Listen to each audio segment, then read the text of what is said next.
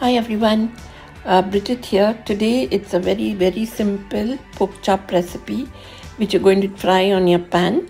So get some good pork chops and then make a marinade with uh, pepper, a little salt, uh, a chili powder, uh, cumin and um, Worcester sauce. Okay, so mix this all together and oil and then you um, marinate your pork chops for about uh, for the you could keep it overnight in your fridge or just for a few hours. So put your pork chops on a pan or a grill and you fry them first on one side. Then you turn over and you fry on the other.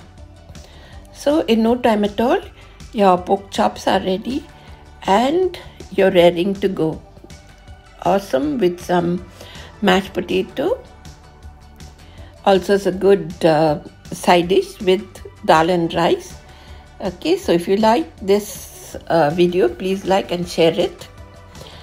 And please do subscribe to my YouTube channel.